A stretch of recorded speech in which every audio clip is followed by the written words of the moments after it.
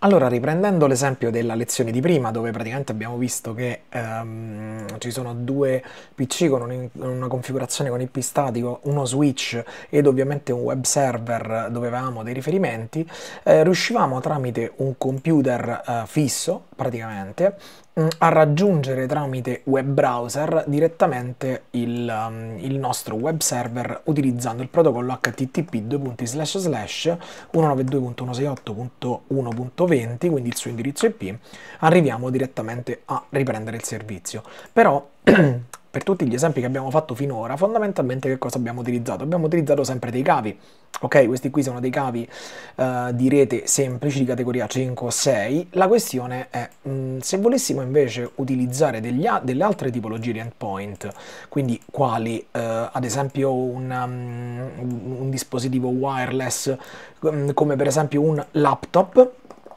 guardate, lo possiamo ricercare direttamente qui sotto, posso posizionarlo direttamente qui, oppure uno smartphone, guardate, eccolo qui. diciamo che le icone sembrano un po' obsolete, però effettivamente le interfacce di rete sono quelle che ci interessano un po' di più.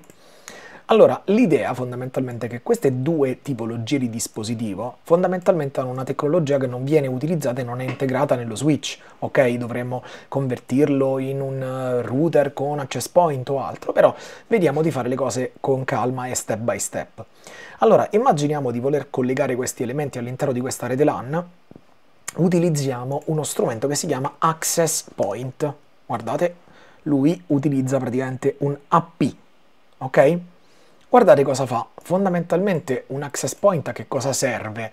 Ehm, la sua simulazione praticamente è come se fosse un piccolo dispositivo della Cisco con doppia antennina che ha una certa tipologia di configurazione con un access point in maniera diretta. Se ci fate caso praticamente si è già connesso il mio smartphone.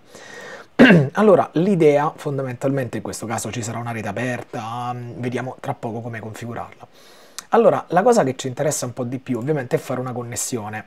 Utilizzando una connessione copper straight, tra virgolette, di, del nostro access point, possiamo collegarlo direttamente allo switch in modalità um, utilizzando la fast ethernet. Tra poco uh, gli verrà assegnato, cioè verrà, um, andrà in, um, in green il setup, quindi fondamentalmente funzionerà.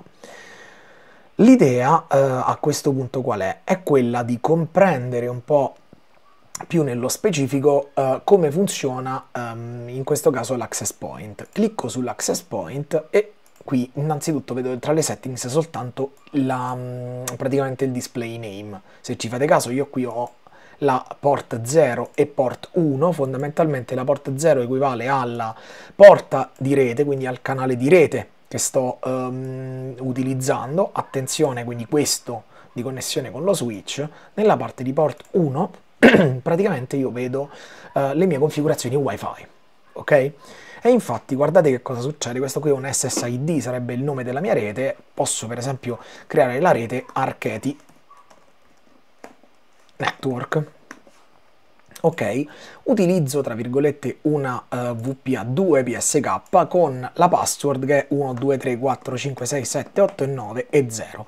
Uh, attenzione, in questo caso uh, voglio um, utilizzare tra virgolette um, una TKIP per esempio come, come, forma di password e questo qui sarà la mia passphrase. Diciamo che è un po', um, diciamo un po' un po' tanto semplice, ok? A livello di cyber security questo è molto esposto, però fondamentalmente la cosa che ci interessa un pochettino di più è proprio um, provare ad effettuare queste tipologie di, di connessione. Bene, allora l'idea è qui posso uh, definire quello che è il canale di comunicazione e poi ovviamente un coverage range che equivale per esempio ad un numero massimo di metri. Per quale motivo? Perché io posso simulare anche la distanza ok, rispetto al mio access point. Se ci avete fatto caso, praticamente il mio access point, in questo caso, si porta dietro eh, delle informazioni importanti, ok? Ovvero eh, ha cambiato la password del wifi e ha disconnesso ovviamente lo smartphone che vi si è collegato in maniera ehm, del tutto naturale. Clicco sullo smartphone e guardate cosa posso fare. Qui c'è un config, interface, guardate la wireless 0 Praticamente io qui posso specificare qual è l'SSID a cui mi devo connettere. Guardate, l'SSID è uguale a quello che ho configurato poco fa sull'access point, quindi sarà Archeti Network e ovviamente la mia passphrase in VPA2, ok, PSK, guardate, lo vado a mettere in, mm, scusatemi, in modalità quindi 1, 2, 3, 4, 5, 6, 7, 8, 9, 0, fondamentalmente sono praticamente pronto per effettuare uh, questa operazione, tolgo questo elemento qui e tra poco dovrebbe connettersi. Attenzione però ad una cosa, lui, guardate che cosa c'ha, in wireless 0 praticamente ha messo VPA PSK con eh, ovviamente quella che è la mia ehm, tipologia, scusami ho zoomato un pochettino troppo, con la tipologia di, di, connessione con password AS. Io quella che ho selezionato era TKIP, ok? Quindi mi raccomando attenzione alle tipologie di encryption che utilizzate, altrimenti non possiamo effettuare la connessione. Come vedete praticamente lo smartphone in questo momento è connesso. Una cosa importante però, come vi ho detto inizialmente, ok, questo switch fondamentalmente non ha capacità computazionale, ovvero non, ha, non abilita, non, non, funziona a livello applicativo e non riesce ad utilizzare il, non ha a disposizione il DHCP, ovvero eh, l'assegnazione dell'IP eh, automatico. Che cosa significa? Che praticamente questo smartphone lo vado a configurare in maniera, quindi vado sempre su wireless 0 con l'IP configuration statica con un, um, un IP address che sarà compatibile con gli elementi che io ho a disposizione, quindi 192.168.1. guardate, gli metto un 103, lascio la subnet mask così, guardate, gli metto un, un attimo una nota,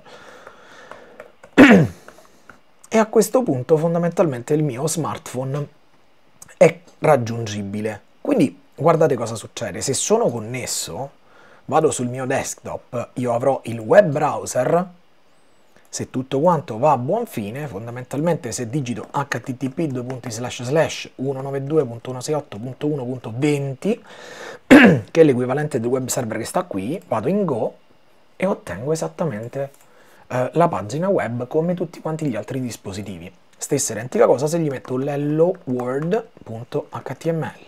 Vedete? E c'ho l'hello world e abbiamo capito come connettere uno smartphone.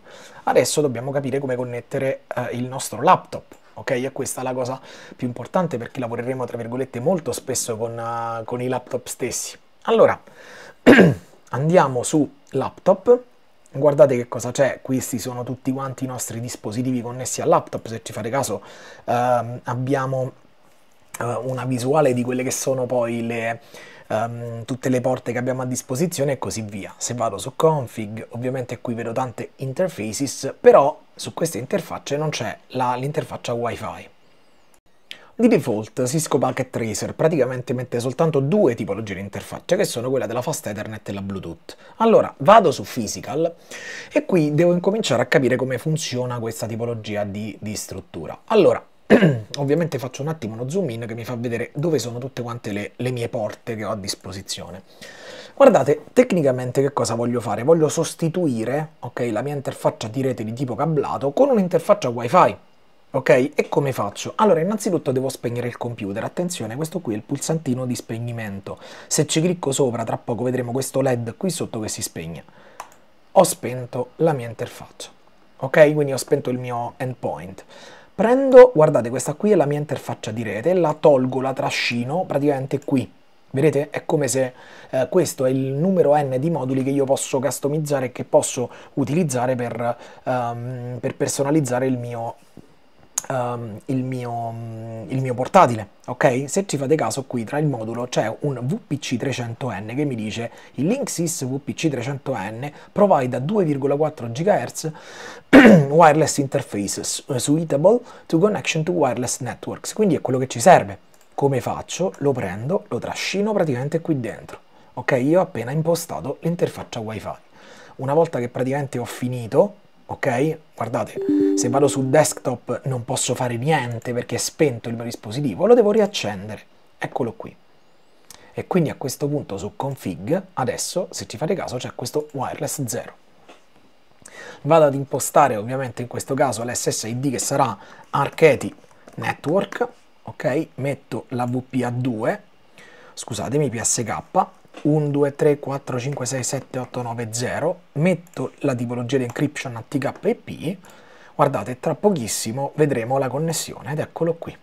Però ovviamente, eh, come vi dicevo prima, non abbiamo il DHCP, quindi vado ad impostare eh, un, um, scusatemi, sulla parte di interfaccia di rete, quello che è un indirizzo IP statico, gli metto per esempio un 104, 192.168.1.104, lui saprà allora a questo punto la subnet mask qual è, diamogli qualche secondo e ovviamente che cosa posso fare? Vado su desktop, avvio il web browser, vediamo se ha percepito, ha recepito l'informazione, la, la, direttiva, http 192.168.1.20 vado ad eseguire e praticamente mi ritrovo esattamente la mia pagina uh, web con hello uh, word.html e la mia pagina è raggiungibile quindi anche da questa tipologia di sistema. E quindi ho capito tra virgolette come gestire delle interfacce wifi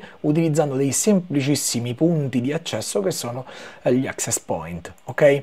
Questa è una sorta di modalità bridge tra virgolette cioè in un certo senso non c'è eh, assolutamente nessuna tipologia di, ehm, di computazione particolare. Qui sopra infatti è semplicemente un ponte tra quello che è il meccanismo wifi che è presente nella porta 1 verso, ok, e ovviamente in full duplex, eh, quindi mm, in entrambi i sensi, la porta eh, di rete che noi abbiamo, mh, mm, abbiamo già impostato.